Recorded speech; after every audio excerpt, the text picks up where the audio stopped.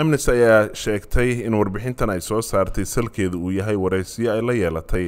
toddobaatan qof oo konton iyo shan ka mid ah yihiin suxufiyiin. Dadka u ololeeya saxaafadda siyaasiyiin mucaarad ah shaqaalaha ururo caalami ah ururada bulshada rayidka iyo shaqaalaha shirkadda facebooka. Tani dabayaaqadii labada kun iyo toddobiyo tobanka ay warbixintu waxay leedahay cadaadis fara badan ayaa la saaray xuriitul qowlka soomaaliya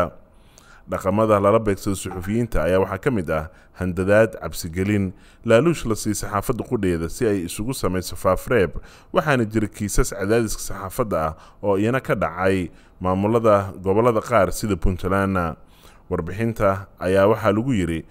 ugu yaraan siddeed suxufi ayaa lagu dilay koonfurta bartamaha soomaaliya iyo puntland tan iyo sannadkii labada kun iyo toddobiyo tobanka halka siddeed kalena ay isaga carareen dalka tan iyo bishii oktoobar ee sannadkii labada kun iyo siddeediyo tobanka.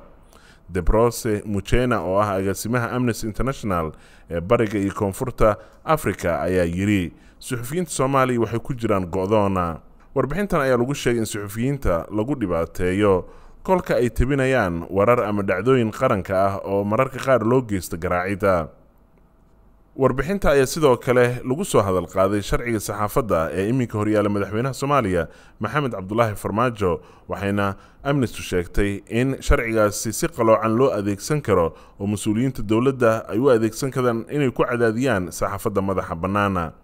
hay'adda amnesty international ayaa ugu dambeyn ugu baaqday madaxweyne maxamed cabdulaahi farmaajo ra'iisul wasaare xasan cali khayre baarlamaanka soomaaliya iyo qeybaha kale ee dowladda in ay wax ka qabtaan xadgudubyada loo geysanayo suxufiyiinta soomaaliya. Maxamed amiin shabele t v